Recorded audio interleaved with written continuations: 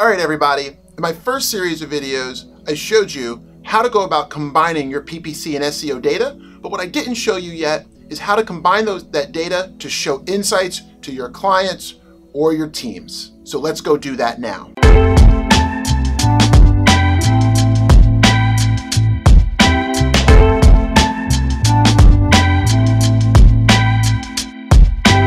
As you can see, I've already joined a bunch of different uh, data together. You can see it here, um, but that's in a previous video, so don't worry about it.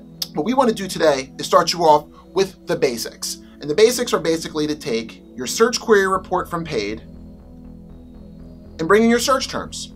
And what I want to do is create a scatter plot of all of the search terms that we had gotten any traffic on over the last year, let's just say. And I got my lonely dot here because now I got search term in detail. I need to create my x-axis. I prefer to make it conversions. The next thing I like to do is then to make ranking my y-axis. So I'm going to use my stat rankings. I'm going to grab rank, make it my y. So now what you've got is a scatter plot with a bunch of keywords. The dots furthest to the right are the ones that are converting the most, the lower they are on the line, the higher their rank. The higher up they are, the lower their rank. Now you're probably seeing, rank 300, why are you pulling top 300? I'm actually not. The thing you've got to be careful of is Power BI is mostly a tool for sales and finance people. So when they see a number, by default, they think you want to add, subtract it, multiply, etc. This is why your rankings are defaulting to sum. They want to add them up. So if you rank number one, number 100, and number 150, they're going to add that up to 251. Um, and that's not what you want.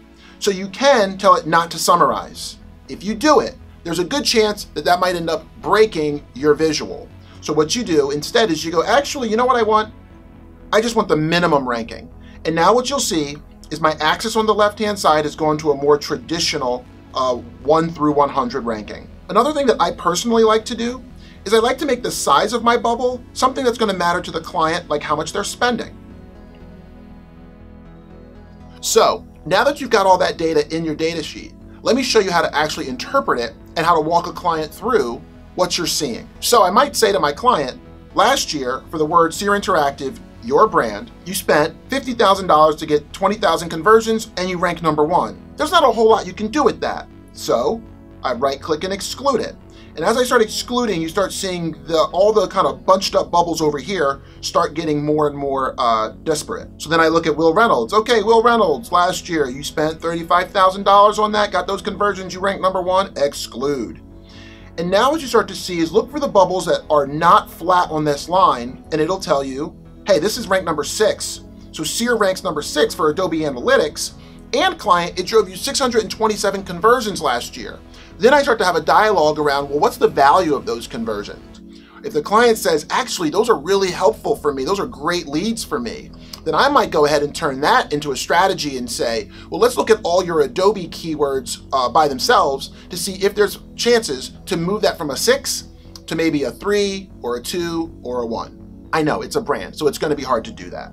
Just bear with me, it's a fake data set. So then you just kind of keep going through and you start looking for things like I love finding outliers like this, where I can say to a client, hey, did you know that you ranked number 20 for the word PPC? But actually, last year, you got 231 conversions on that and spent $11,000.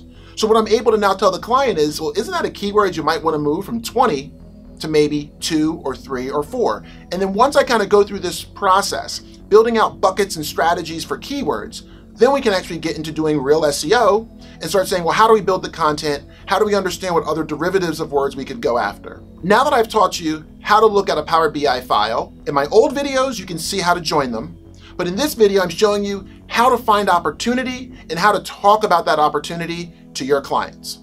Now, I know there's a couple of people out there that might say a few things about the way that I'm looking at this data.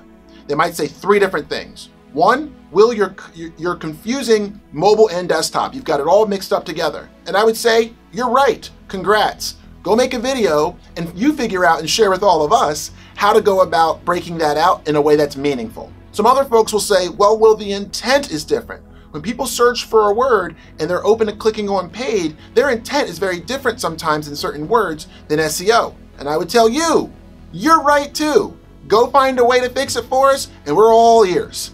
Um, and then the last one is sometimes around location and how in different locations people might search differently or react differently to paid versus SEO data.